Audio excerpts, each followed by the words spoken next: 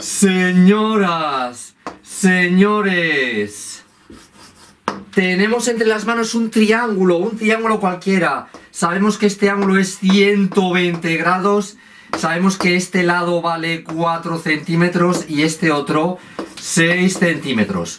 Y con estos datos queremos calcular la longitud de este otro lado. Voy a llamar a este otro lado, pues no sé, mira, eh, simplemente L. L. L. L, L. ¿Cuánto, ¿Cuánto vale L? ¿Cuánto vale esta, esta distancia? Venga, vamos a empezar, ¿eh? Hay varias formas de resolver esto, pero la más directa tal vez es aplicando el llamado teorema del coseno. Ahora mismo te lo cuento. Cuando tenemos un triángulo, un triángulo, lados A, B y C, ángulos A, B y C, se cumple siempre lo siguiente. Mira, por ejemplo, para, para el ángulo C y el lado C, esto. Lado C al cuadrado igual a lado A al cuadrado más lado B al cuadrado menos dos veces el lado A por el lado B por el coseno del ángulo C. Vale, vale, vale, vale, vale. Y mira, para, para el ángulo A y el lado A, otro tanto de lo mismo, la misma estructura siempre. Lado A al cuadrado igual a lado B al cuadrado más lado C al cuadrado menos dos veces lado B, lado C por coseno de ángulo A. Y para el lado B y ángulo B, B mayúscula, B minúscula, tenemos esto por última vez.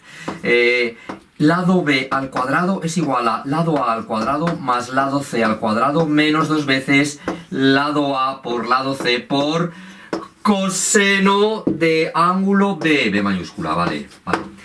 Esto, esto es el llamado teorema del coseno. Por cierto, si quieres ver de dónde sale esto, vete a ese vídeo, ahí te lo demuestro. Bien, nuestro caso, vamos a por nuestro caso. Nosotros hemos dicho que vamos a aplicar el teorema del coseno y viendo cómo está esto, eh, eh, eh, pues venga, eh, este ángulo, este lado, este ángulo, este lado. Se ha de cumplir, aquí es algo muy parecido al ángulo C y el lado C, L cuadrado igual a este lado al cuadrado más este otro lado al cuadrado menos dos veces este lado por este lado por el coseno de ese ángulo. Fabuloso. ¡Oh! ¡Oh! Voy a, voy a enmarcarlo incluso, voy a enmarcarlo incluso. Eh, y sabes, ahora vamos a empezar a, a operar aquí lo que podamos. Eh, pues L cuadrado, esto es igual a 4 por 4, 16, más 6 por 6, 36, menos eh, 2 veces 24 2 veces 24, 4 y 4, 8, 2 y 2, 4, 48. Por coseno de 120. Coseno de 120. Voy a intentar visualizar un poco el coseno de 120 grados. Eh, vamos a ver, eh, 120 grados, esto sería 90, esto sería 30, 120 grados es este ángulo, este ángulo. Es como si tuviéramos es como si tuviéramos un triángulo rectángulo y aquí 60 grados, aquí 60 grados. Bueno, pues el coseno de 60 grados, coseno de 60 grados, por favor, coseno de 60 grados, esto es igual a un medio. Coseno de 60 grados igual a un medio, pero eh, ves, estamos en este cuadrante, primer cuadrante, segundo cuadrante, el coseno es negativo. Coseno de 60 igual a un medio. Pero como aquí debe de ser negativo el coseno, coseno de 120 menos un medio. Menos un medio. Venga, seguimos operando aquí. A ver, puedes coger la calculadora y decir coseno de 120 y te va a salir menos un medio. Seguimos.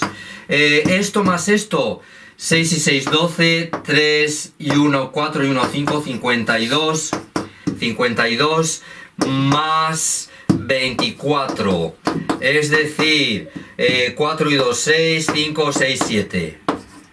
Luego, luego, finalmente, L va a ser igual a raíz cuadrada de 76. Eh, chicos, esto no puede ser una cantidad negativa. Positivo, es, es la longitud de un lado. Quiero decir que, que tendríamos aquí una ecuación de segundo grado. Una solución, una solución, otra solución. Esto lo descartamos. Resumiendo. ¿Cuánto tiene que valer L?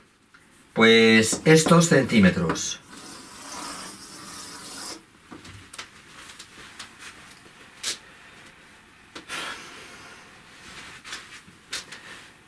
Teníamos un triángulo, conocíamos dos lados, un ángulo, queríamos saber cuánto valía este lado, hemos aplicado el teorema del coseno para este caso de 3.